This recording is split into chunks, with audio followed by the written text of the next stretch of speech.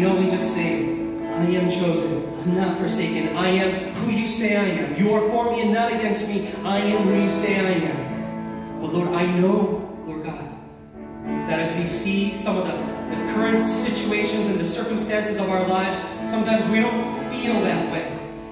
Sometimes we feel like I'm not chosen. I'm not His.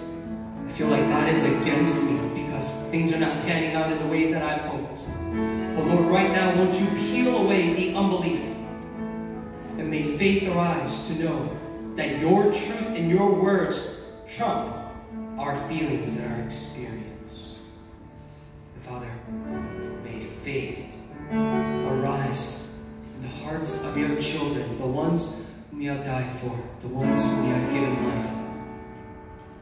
So that once again this day declare, Father, your kingdom come your will be done on earth as it is in heaven. I trust you. I trust you. May your kingdom come. May your will be done in my life